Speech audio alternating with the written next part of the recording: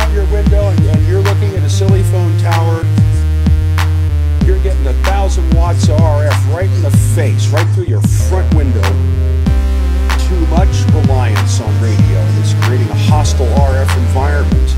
Radio is being used, but radio was not, not, not, not, not intended. You know, television remotes and silly phones and iPods and all that stuff. It's just RF extravaganza.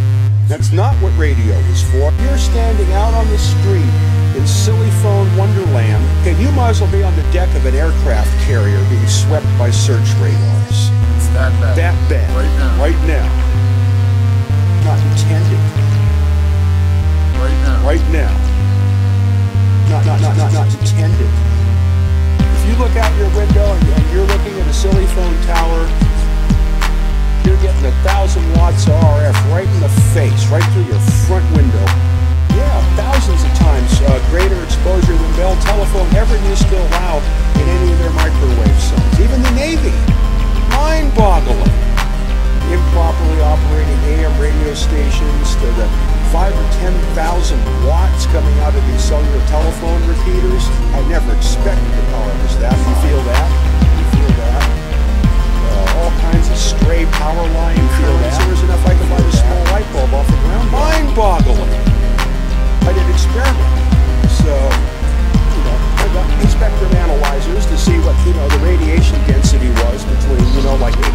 Megacycles and 1200 megacycles, the silly phone band.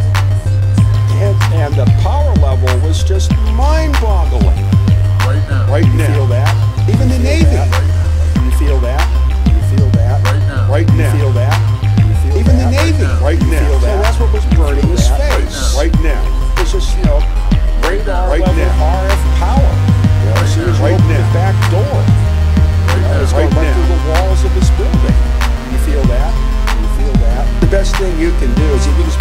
Dollars building yourself a radio frequency bunker or move. Right now. right now with that lousy digital, you know, hump and slap music. They want to get rid of all radio. Why?